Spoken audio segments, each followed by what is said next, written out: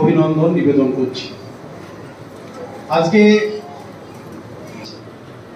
তার জন্য সারা দেশে পঞ্চাশ জায়গায় এরকম সম্মেলন ছিল। যারা চাকরি প্রার্থী পরীক্ষা দিয়ে চাকরি পাস করেছেন। দিদির সরকারের মতো লাঠি পেটা হচ্ছে না তাদের। মন্ত্রী আছে, তাদের হাতে অ্যাপয়েন্টমেন্ট লেটার তুলে দিচ্ছেন। নিশীত প্রামাণিক আমাদের খড়গপুরে ছিলেন। কলকাতায় অন্য মন্ত্রী ছিলেন। আরও দু তিনজন মন্ত্রী বাংলায় ঘুরছেন। তো সেই যে অনুষ্ঠান ছিল সারা ভারতবর্ষে, তার মধ্যে খড়গপুরে যে ছিল, আমাকে বলা থাকতে আমি এমপি হিসাবে আমাদের রাজ্য সভাপতি সুকান্ত এসেছিলেন। তো পঁচাত্তর হাজার জন আজকে চাকরি পেল। প্রতি মাসে এরকম পাবে।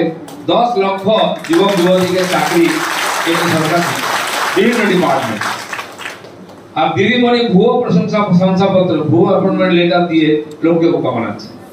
আর যারা পাস করেছে চাকরির হকদার তারা রাস্তার ধারে দাঁড়িয়ে অনশন করছে পুলিশের লাঠি খাচ্ছে রাত্রেবেলা তুলে নিয়ে যাচ্ছে। বিচিত্র চলছে এখানে। সারা পশ্চিমবাংলায় হাহাকার চলছে। গত ক বছর ধরে যে আইন শৃঙ্খলার সমস্যা বাংলায়, তাতে সবচেয়ে বেশি অত্যাচার মহিলাদের উপরে হচ্ছে। ভারতবর্ষে আমরা দেখেছি, পাঠান মোগলরা এসেছিল, তারা আমাদের মাতৃশক্তির উপরে অপমান করেছে, অত্যাচার করেছে। ইংরেজ আমলেও জোর করে দাবিয়ে রাখার জন্য আমাদের মাতঙ্গিনী হাজরা, গান্ধীপুরি এখানে শহীদ হয়েছিলেন, জাতীয় পতাকা তুলেছিলেন, সত্তর বছর বয়সে গুলি খেয়েছিলেন, এবং আমাদের মায়েদের, বোনেদের উপরে উৎপীড়ন করেছিল ব্রিটিশরা, তারা বিদেশি ছিল।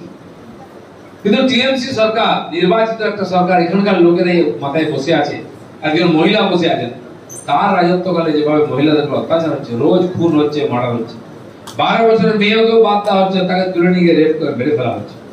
ষাট থেকে সত্তর বছরের সব মহিলারা ছিল অসুরক্ষিত। মহিলাদের উপরে এই অত্যাচার তার পরিণাম ভুগতে হয়েছে।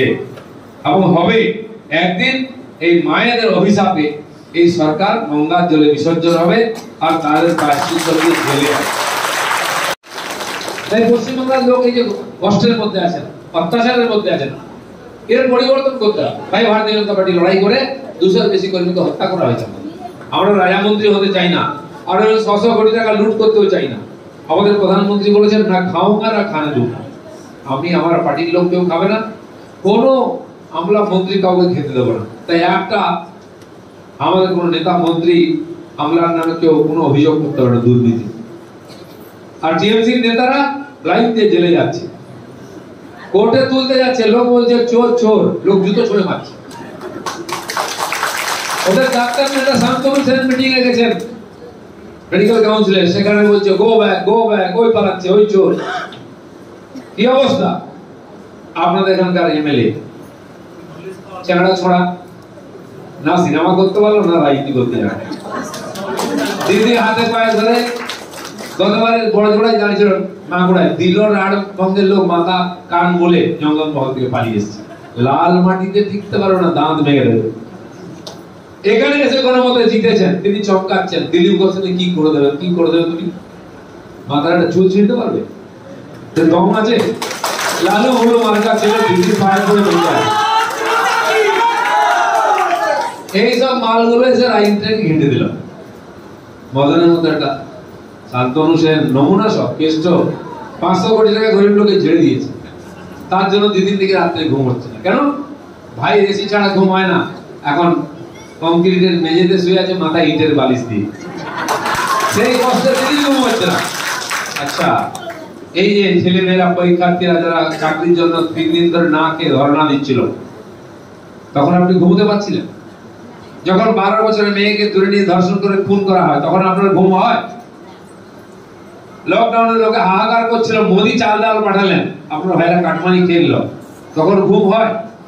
আমাদের যখন এক একজন কর্মীকে মেরে গাছে টাঙিয়ে দেওয়া হচ্ছিল, হাহাকার করছিলাম পুলিশ ফায়ার তখন আপনি ঘুমোতে পারছিলেন। আপনার ভাই ভাই সাড়ে পাঁচশো কোটি টাকা লুট করেছে, সে কেন জেলে আছে? ঘুমাচ্ছেন? বাহ! আবার এগারো কিলো সোনা দিয়ে মায়ের পুজো করতে। পার্টি অফিসে কালী পুজো, সোনার গয়না চাপিয়ে দিত মাকে, কিন্তু মা জেল থেকে বাঁচাতে পারল না। কলকাতার সবচেয়ে বড় পুজোগুলোর একটা ছিল পার্থবাবু দুর্গা পুজো। দিদিমণি সেজে গুজে গিয়ে সেটা উদ্বোধন করতেন। এবারে ওই রাস্তা মারাননি। ওই মুখ হননি তাহলে ভাই সে হয়তো যেত। তাকেও মা দুর্গা বাঁচালেন না, কারণ লুটের ধন ঠাকুরও নেয় না। সাংবাদিকদের ঘুষ দিতে পারেন, পুলিশকে ঘুষ দিতে পারেন।